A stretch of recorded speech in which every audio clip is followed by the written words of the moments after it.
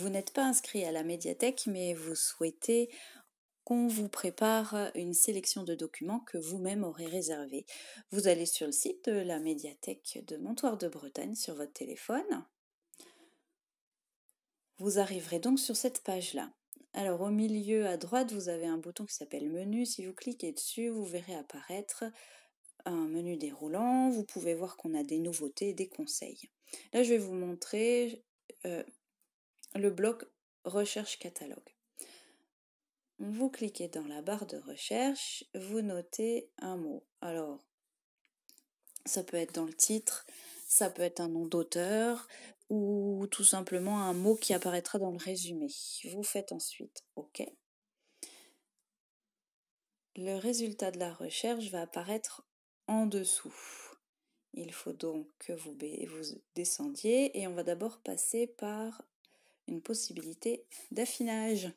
Si vous ne souhaitez que des CD audio, par exemple, vous cliquez dessus. Il y en a quatre. À chaque fois, il faut redescendre un petit peu. Voilà, vous voyez, ma recherche va porter que sur les CD audio. On peut continuer à affiner si on le souhaite. On descend, on descend, on descend, et vous allez avoir le résultat de la recherche, donc les quatre documents qui sont disponibles. Donc vous pouvez les voir, vous cliquez sur le titre qui vous intéresse.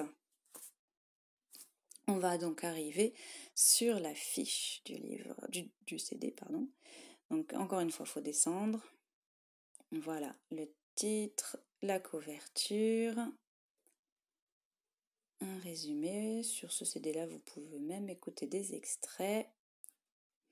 Alors, ce qui est intéressant maintenant, c'est le tableau qui se met au milieu de votre écran.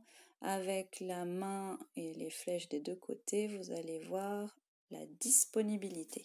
Donc ce document est bien disponible, c'est parfait. S'il est prêté, ça veut dire que quelqu'un l'a en ce moment euh, chez lui. On ne pourra donc pas vous le préparer de suite.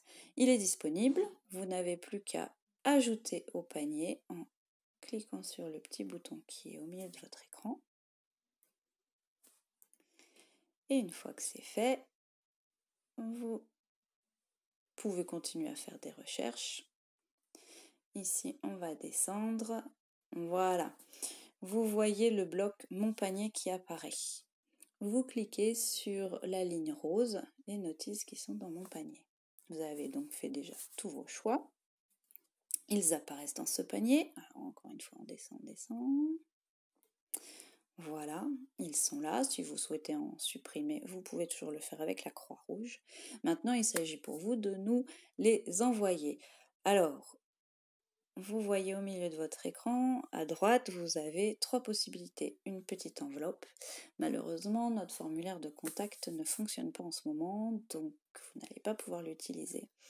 On va utiliser plutôt le PDF, c'est le bouton qui est juste après, avant l'impression. Donc vous cliquez dessus ça va vous transformer cette liste en document PDF. Vous l'enregistrez sur votre téléphone et puis après, bah, vous n'avez plus qu'à nous l'envoyer par mail. Voilà, n'hésitez pas à laisser votre euh, numéro de téléphone et votre nom pour qu'on puisse vous recontacter ensuite pour prendre rendez-vous, que vous puissiez les récupérer vos documents.